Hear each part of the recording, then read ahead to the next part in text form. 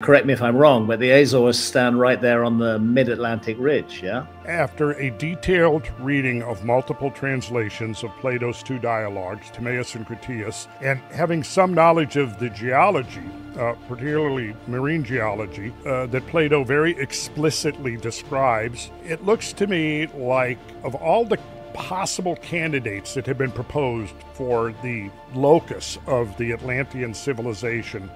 the one that seems to fit the details, Plato's very precise details and specific descriptions the most, in my mind, is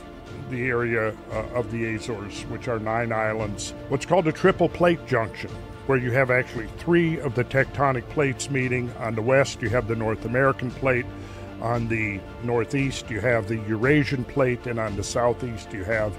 the African, now called the Nubian plate putting together the pieces, trying to connect the dots, it seems to me that that is the prime location for what Plato is describing.